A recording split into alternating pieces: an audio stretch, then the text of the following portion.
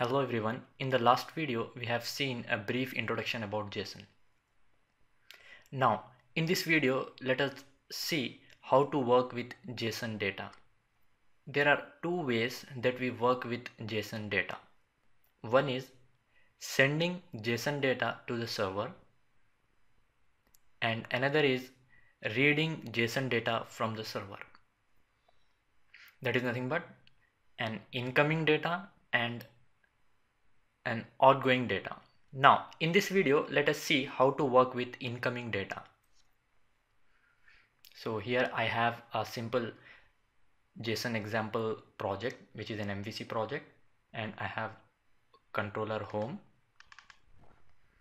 and an empty index go to view which is an empty nothing what I have done I have added script file that is nothing but your jQuery and I have dragged that jQuery script file here a reference.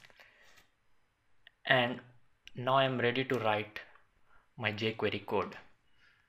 Basically there are four types of data that we work with. So in this scenario we are going to work for incoming data and for four types of incoming data. Say I have done some calls to the server from here some calls. And finally the server has returned JSON data. JSON data is nothing but it is a string that's it. Now how do I take that JSON data parse it and use it? My server can send me four types of data basically four types of data first is a single variable. It can send me a single value. It could be an integer or a string. Second it can send me array of variables. Third I could get an object. Fourth I could get a list of objects. So basically if you take any kind of project you will be working with these four types of data one is a single variable another is array of variable third is an object fourth is array of object or you can say list of objects. So let us start with a single variable. Whatever i get from the server is a string. So in your javascript you represent string with single quotation. And format of json data is parenthesis id in quotation colon 1 so this is the string that I get from a server or you can say from some service. It could be a web API or it could be a WCF RESTful service or it could be from a controller in MVC so whatever I get I'm storing it in a variable X. And as I know very well it is a string. Now I need to parse it to JSON object. So I have a method that is parse which is present in JSON object. So I'll say JSON dot parse x. Now it is going to convert this string to an object and it is being referred with k. Now k is referring to the JSON object that has been passed. Now I'll say k dot id and I can read it. Now let me execute this. So I get one. So this is for single variable. What if I have an array and how do I represent an array? Even that code is ready with me let me comment it out. It is simple simple coding.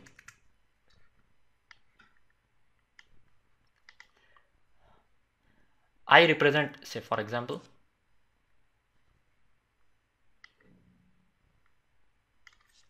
so this is how I represent a single variable. Now array normally I use square brackets then this. So it is an array of variable and the values could be 1 2 3 4 and this is the data that we get from server.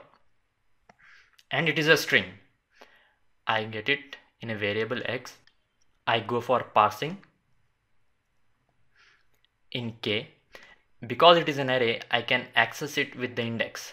so this is the zeroth element 1 2 and 3 so I have four variables so indexes will be 0 1 2 3 so for example I want to access an element at index 2 index 2 is nothing but the value 3 or let me give some different values. 10 42 39 and 48 42 now let me comment this out first. We will see that in a while.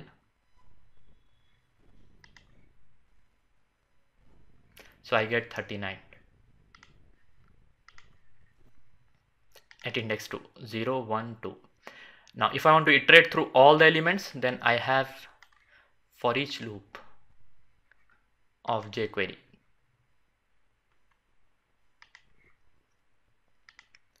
for each list item i is a variable incrementing variable then I have item.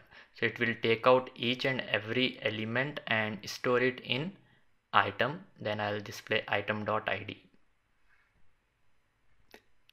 let me comment out this. Now here I should get one two three four pop-ups with four values. 10 42 39 40 that's it. This is how you work with array of variables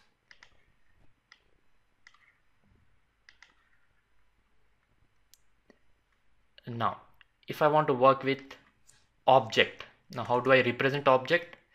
The way in which we have represented a single variable in the same way I can represent an object. So even I have code ready with me for that for single object. So single object id comma name. So this is an object of class employee say which has properties id and name. So I'm going to get the object in the form of string. So this is pure string. What do I need to do? Again parse it and refer it with k or any variable. Then I can say k dot id you can see that it will display in the IntelliSense k dot name. Now let me execute this. It should display one Manzoor. I get it. So I can read that. Finally in the same way I can work with list of objects.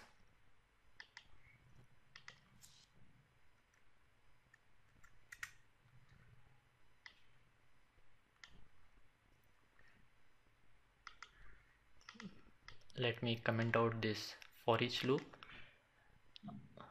This is a single object. So multiple object, I'll just separate it by comma and I have a square bracket and single quotation. Again, whatever I get from the database or from the server is a string. Basic rule is parse it to JSON, refer it with an object, then access that particular element.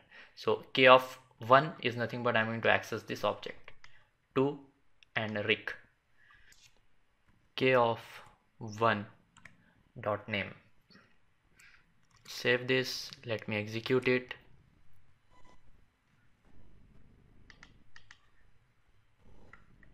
To Rick that's cool.